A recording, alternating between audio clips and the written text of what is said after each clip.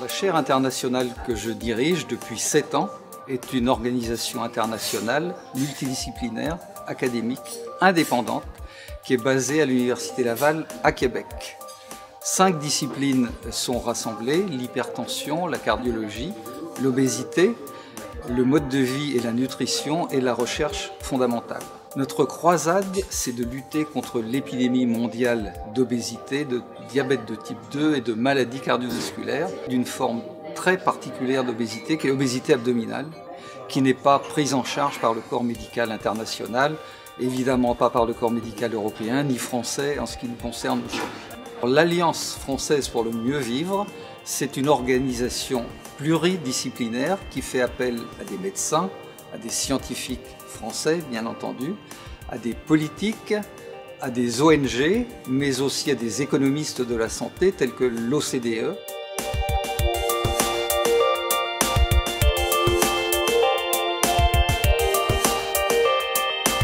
Recently, we published a study in JAMA Internal Medicine uh, using data from the US, and we found that uh, people who overconsume uh, sugar sweetened beverages had increased risk of uh, heart disease. Uh, they are more likely to die from cardiovascular disease uh, for people who consume at least one serving per day of sugary beverages. So this study provided uh, strong evidence that um, um, overconsumption of sugary beverages uh, not only contribute to obesity, diabetes, but also heart disease. Since SSB um, is harmful for uh, our health, uh, the best replacement is plain water because it doesn't contain any calories, doesn't contain any sugars, and it's widely accessible. It's cheap, unsweetened coffee and tea uh, is also a good alternative, healthy alternative to uh, SSBs. Uh, because um, recent studies have shown that uh, regular consumption of coffee is actually associated with decreased risk of type 2 diabetes. Um, some people have uh, used uh, diet drinks to replace uh, SSBs, um, but there's still some concern that um, uh, um, long-term consumption of uh, diet drinks may have some cons health consequences. I think it's okay to use it as a temporary replacement for SSBs, but it's not an optimal long-term replacement. What kind of strategies can be used to reduce uh, SSB consumption in the population?